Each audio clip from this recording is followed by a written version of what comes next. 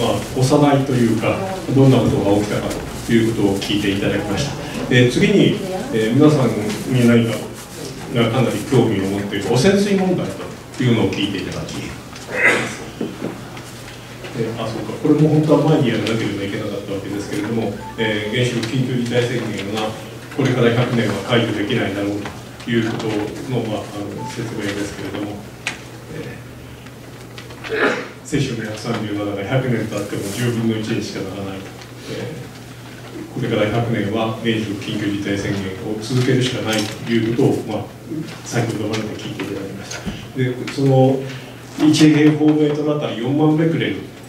というのが放射線管理区域の基準であるとか被曝の限度はいくらなのかというようなことはもちろん法律的に決まっているわけで、えー、日本で一番あの原子力に関連が深い法律は2つです。えー、核原料物質、核燃料物質、あ、ごめんなさい、これ物質です。物質と書いてありますが、および原子炉の規制に関する法律、原子炉等規制法と私たち簡単に呼んでいる法律、それから放射性同位元素等による放射線障害の防止に関する法律、放射線障害防止法という、そういうあの私たちが呼んでいる法律、この2つで原子力あるいは被爆のことは全てあの決まっています。えー、で細かい数字に関しては、えー、その株法令があって、えー、どういうのがないのかということをここに書いておきましたのでもしご興味のある方は図書館でも行って調べていただければいいと思います。えー、では汚染水問題にいきます。えー、安倍さんって本当に嘘つきの人だと私は思います。もう年がら年中嘘をついて、えー、不思議な人だと思う思いますけれども、えー、とことん嘘つきの人だと思います。えー、その安倍さんが東京オリンピックを誘致してきた。2013年の9月8日に上野サイレスで IOC の総会がありましてそこに安倍さんが行って福島の事故はアンダーコントロールだ。と言って東京オリンピックを誘致してきた。そうです。では一体その当時福島第一原発の状況はどんなだったのかというと、えー、こういう状況だった9月の8日にあの安倍さんが上野祭列行ったわけですけどこれは9月の3日ですから、まあ、要するにちょうどその頃のデータを示しています。えー、どういうデータかというとですね2011年の3月に事故があって680と書いてあるわけですけれども汚染水がどれだけあったということがここにグラフで書いてあるのです。え建屋の地下に溜まっているやつとかそれからタンクを作って貯めてあったのがどうどうなったとかということでどんどんどんどんこうやって増えてきたよというのが上のグラフです。ではなんでそんなことになるのかということは下に書いてあります、えー、ここにですねこの下のその左の端が原子炉建屋。でそその右側がタービン建屋という建屋が並んでいます。そして原子炉建屋もタービン建屋も本来は放射線管理区域です。ですから外界とつながっていてはいけません。きっちりと外界と区別されて、えー、水もが漏らさなければ空気も漏らさないというそういう建築物であったはずなのです。しかし2011年3月11日に巨大な地震に襲われまして原子炉建屋もタービン建屋もボロボロに壊れてしまいました。そのため、えー、今この上から赤い印をつけましたけど、えー、原子炉を冷やそうとして毎日毎日400トンの水をポンプでジャージャーと原子溶け落ちた原子炉に向けてかけている。その他どうなっていくかというと地下水が原子炉建屋の中に堂々と流れ込んできていた。1日ごとに400トンの地下水が流れ込んできてしまう。合計これ800トンになるわけですけれども自分で意図的に注入している水400トン地下水が400トン流れ込んできて合計800トンをタービン建屋から組み上げる。そのうち400トンは循環させて原子炉を冷やすために使うけれどもでも地下水として流れ込んでくる分の400トン分はどうしようもないからタンクに貯めるということをずっとやっていたわけです。えー、そのためこの上の図を見ていただい先ほど見ていただきましたけれどどんどんどんどん溜まってきてすでに安倍さんがブエノスアイレスに行った時に43万3000トンという放射能汚染水がタンクに溜まっていたということがになっていたわけです。そしてさらにもっと問題があるんです。原子炉建屋の中に流れ込んでくる地下水は1日あたり400トンです。しかし原子炉建屋の中には流れ込んでは来ないけれども福島第一原発の敷地の中を毎日毎日400トンから600トンの地下水が敷地の中を通って海へ流れ込んでいるというそういう状態だった。のです当時ではこの何にもなその建屋の中には流れ込んでこないけれども敷地の地下を流れて海へ流れ込んでいくというこの地下水は本当にきれいだったのかということなのですけれども東京電力はこの地下水をこの海へ出ていくところに井戸を掘ってどのくらい汚れているかということを測ってみたことがあります、えー、それが、えー、今から見ていただくんですけれどもこれは2014年10月13日ですから安倍さんがブエノスアイレスに行ったよりもまだ1年後です。そんな時にこの地下水がどんな状態だったかというとこうなんです。セシウム134という放射能は1リットルあたり6万1000ベクレル入っていたと。敷地の中のただの井戸ですよ。入っていた。そしてセシウム137は1リットルあたり、えー、19万ベクレル、えー、全データという放射能の測り方があるのですけれどもそれだと780万ベクレル1リットルに入っていたというこれが東電のデータでした。ではこれどのくらいの汚染の強さなのかというとえ先ほど聞いていただいた日本の法律で、え海へ海へ流す時にはどのくらいの濃度に下げなければいけないということももちろん法律で決まっているわけです。それはセシウムの134の場合は1リットルあたり60ベクレルですなんと1000倍を超えるような汚染したものが地下水の中に流れていたセシウム137の場合にはもう2000倍を超えるような汚染だったこの全データという放射能の測定で測っているのは私はストロンチウム90という放射能だだったはずだと思っているのですけれどもそうすると1リットルあたり30ベクレルしか入っちゃいけないというのに780万ベクレルもあったわけですもう猛烈な汚染水というものが福島の地下を堂々と流れて海へ流れ出していたというそれが安倍さんが東京オリンピックを誘致して1年経ってもまだこういう状態が続いていたということなんです。汚染水問題というのは事故が起きた時から現在まで実はずっと続いているというそういう状態になってしまった。では現在その汚染水はどのくらい貯められているかということですけどこうです、えー、福島の敷地の中に約1000キロ、えー、巨大なタンクを東京電力が作りました。貯められる容量は135万1200トンという量をとにかく貯められるというだけの巨大なタンクを並べました。一体どのくらい溜まってるかというと東京電力には処理水と呼んでいる、えー、放射能を捕まえる処理をした水だというのが116万トンあります、えー、その他ストロンチウム処理水これからまたアルプスという装置を通すという水が5万トンを超えていますし、えー、その他、えー、濃縮廃液、えー、RO 処理水というような、まあ、特殊な処理をしたものが1万6800トン。ぐらいえー、これ合計すると132万トンを超えるものがすでにもうタンクに溜まっているということでつまりもうあと10万トン分ぐらいしか貯める能力がない東京電力は言っている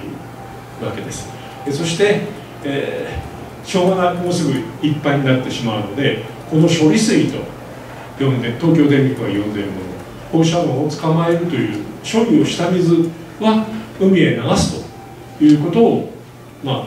国と東京電力が今画策しているということになるわけです。しかし私ここに書きましたけどいわゆるトリチウム水と書いてあるのにこの処理水という水の中にはトリチウムという放射性物質が全く手つかずのまま残ってしまっているのです、今これ福島の敷地の写真を見ていただいています、えー、1号機2号機3号機4号機とこれが壊れてしまった原子炉です。でその北側に5号機と6号機というもう2つ原子炉があったんですけどこちら側は、えー、外部からの送電あ送電線もこちらも断たれた。1234号機も断たれてで非常用電源も動かなかったためにこちらは巨大な事故になったわけですけど5号機6号機の方は非常用の発電機が曲がりなりにも1機だけ動いてくれたために原子炉は溶けずに済んだということになりました。これがまあ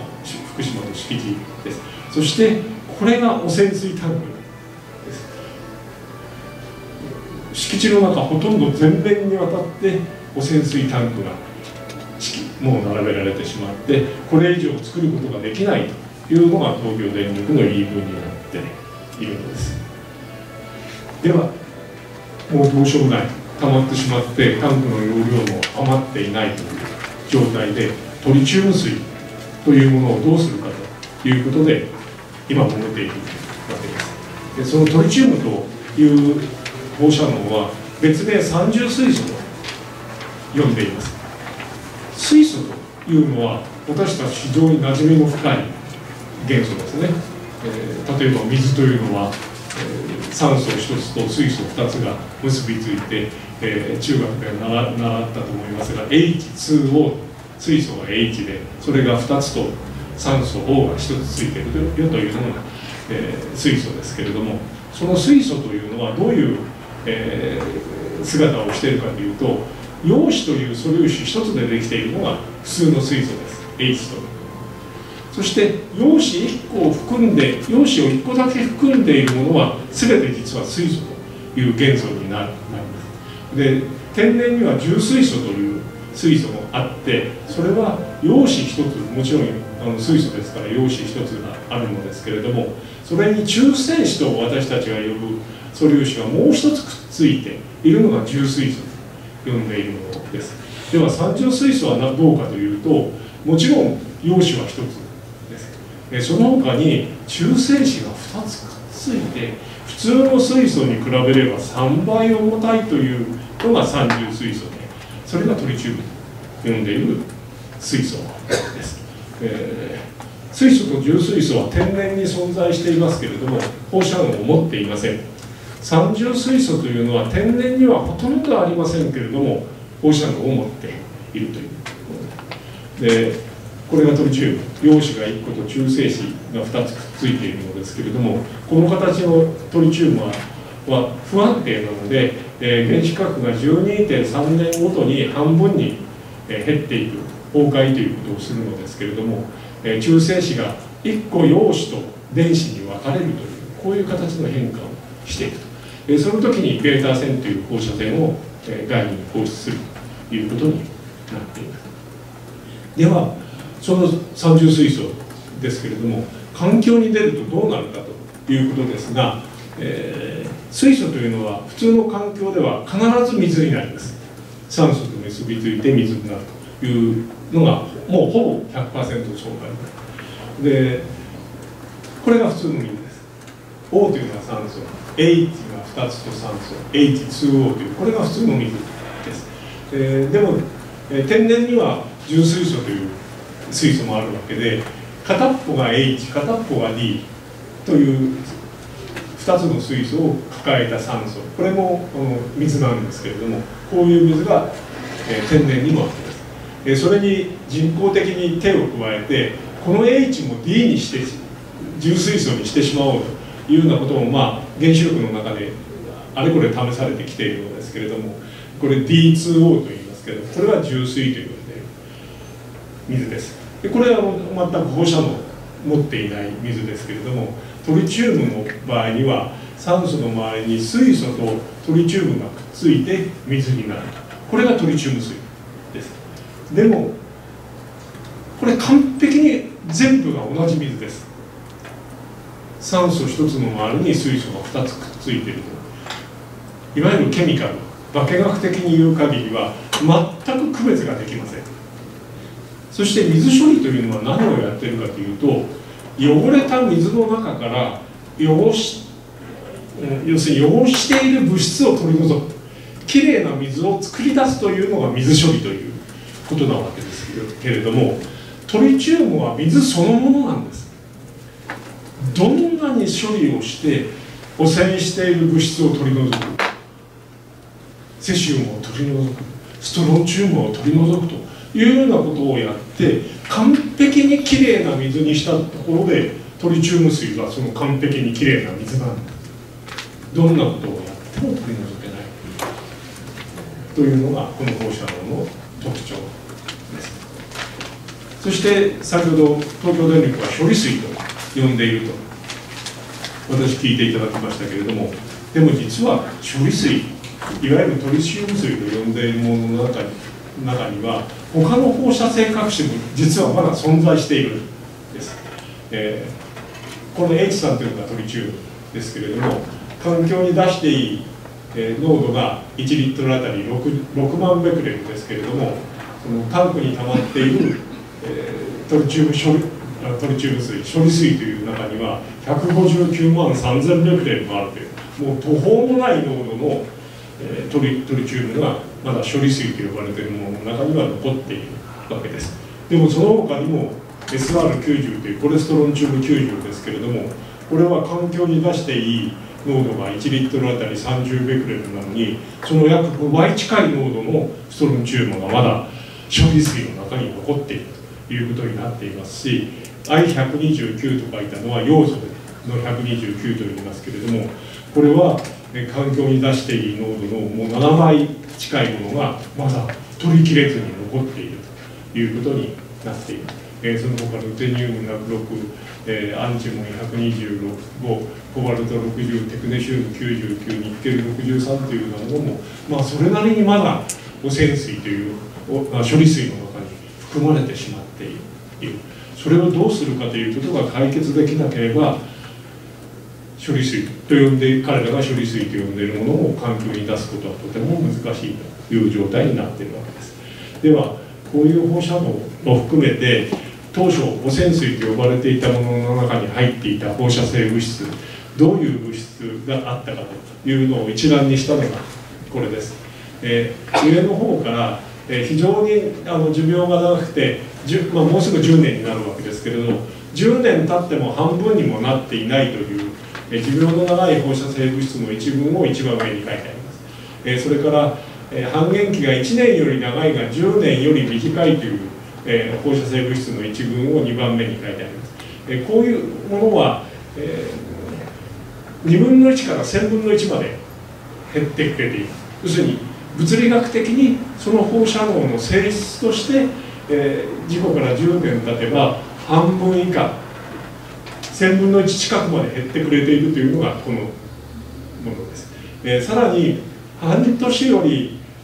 半減期が長いというような一群のものをここに書いてありますし半年より短い半減期のものがさらにここに書いてあります。でそういうものはもう10年経てば100万分の1以下になってくれています。つまり東京電力がどんな手を加え加えなくてもただただ放っておいても放射能の自分の寿命で100万分の1に減ってくれてると。いうのが一番下のやつですし2段目のやつだってもう1000分の1以下には減ってくれてると。